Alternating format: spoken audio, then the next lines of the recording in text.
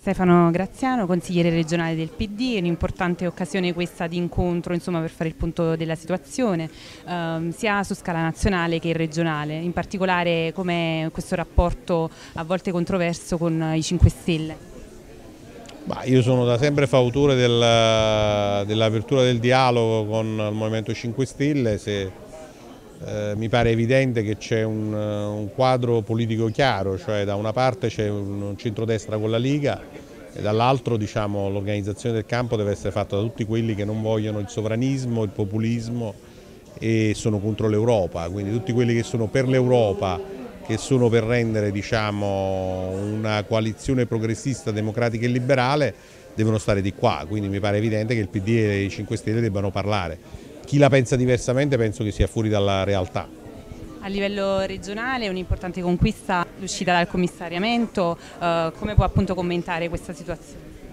Bah, io penso che sia un grande risultato politico l'uscita dal commissariamento dopo dieci anni di commissariamento della sanità, è un grande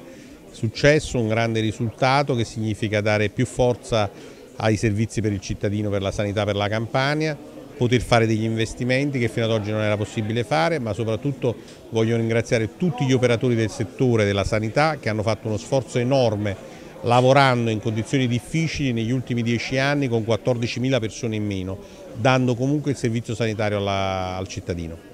In prospettiva invece delle prossime elezioni regionali, ehm, come vi siete organizzati, come valuta la ricandidatura di De Luca, ma soprattutto alla luce eh, delle controversie che spesso vengono fuori anche dal PD Casertano, come vi regolerete? Ma io penso che dobbiamo lavorare per vincere le elezioni di nuovo, abbiamo fatto un grande lavoro in cinque anni, siamo qui per eh, rimettere in sesto